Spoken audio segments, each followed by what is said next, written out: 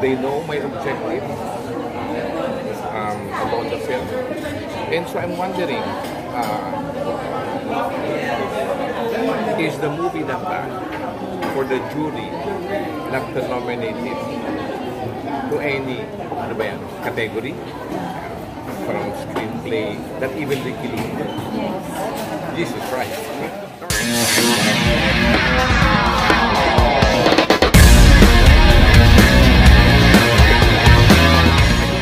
I know very little about filmmaking. I only know what to communicate about the history of film. I want to inform the Filipinos. And I think they promised me we will elevate a little bit the quality of film. Anyway, ganun pa kasama yung pelikula para hindi manomanita. At ganun pa kabobo. Yung mga nagsulat and posted it publicly. I have I have so many questions.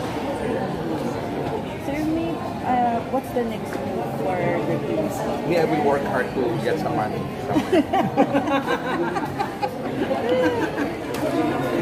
Tapos, the population of mine is horrible. But it's fun. It's fun. I mean, I, these are friends. Mm. The problem is when you have friends, you treat them. Mm. with ano po, with the experience, mm-hmm. would you still, oh, sorry, Make good films. uh, would you still produce more films? I am not After sure. what happened? I am I am not sure at this point because it costs a lot. This is not an indie budget film. Not an indie budget film. So I don't scream. Yes. I don't scream. Uh, I feed people. Di pagmalaki nyo naman. Kami lang yata yung so far nagpa-audition. o yung ano yung call. Tawag nyo doon? Call back. Casting casting call. call. May mga lumapit sa amin niya. Why? They would not accept it. But they said they've never been treated this humanely. Because there was food and there's a decent waiting area. And there's water and coffee and tea every day. They could, because it could run for hours, even the whole day. In, in Coleon, well, maybe... Pinagagaling. Well, um, ganito yan.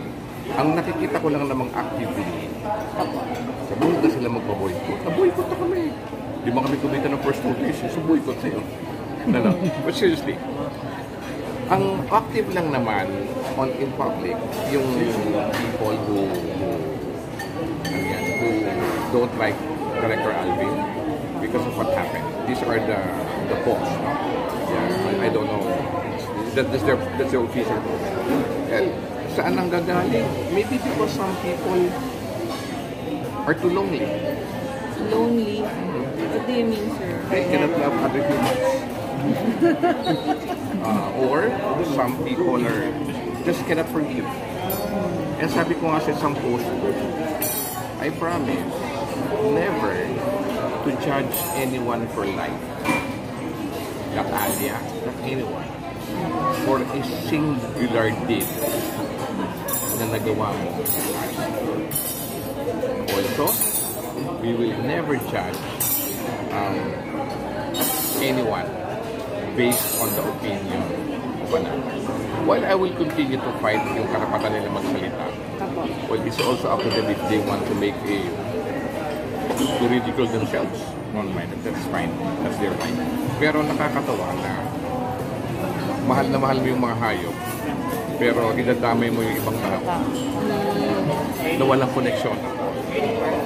And remember, the objective is I want people to know the history of Bullion. It's part in the Philippines. It's part in world medical history.